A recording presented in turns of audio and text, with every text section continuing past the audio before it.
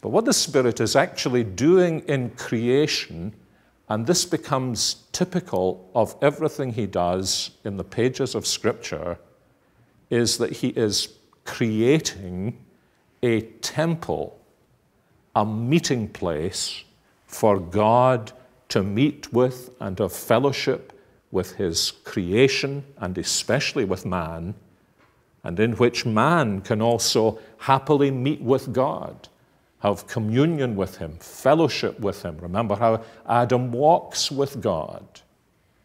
And in order that in this temple that God is creating through His Holy Spirit, man might be brought, as you remember the Shorter Catechism says in its first answer to its first question, man might be brought to know God, to love God, to trust God, to glorify God, and to enjoy Him forever.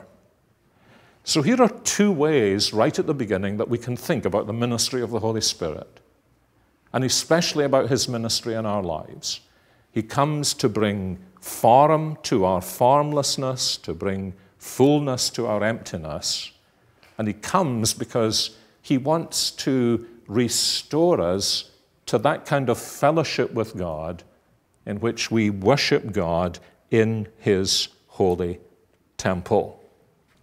The Spirit does this, first of all, in creation. I don't think we often think about that, but the whole creation is actually a temple created for the worship of God by His image man. Uh, turn for a moment, if you will, to the book of Psalms and to the 19th Psalm. Uh, I probably should say Psalm but when I say psalm, I mean psalm. Very famous statement at the beginning of Psalm 19, verse 1 The heavens declare the glory of God, the sky above proclaims his handiwork, day to day pours out speech, night to night reveals knowledge. Now, if you think about it, what does that remind you of? A church service, doesn't it?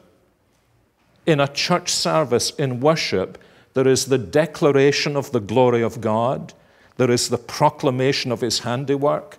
There is an outpouring of speech.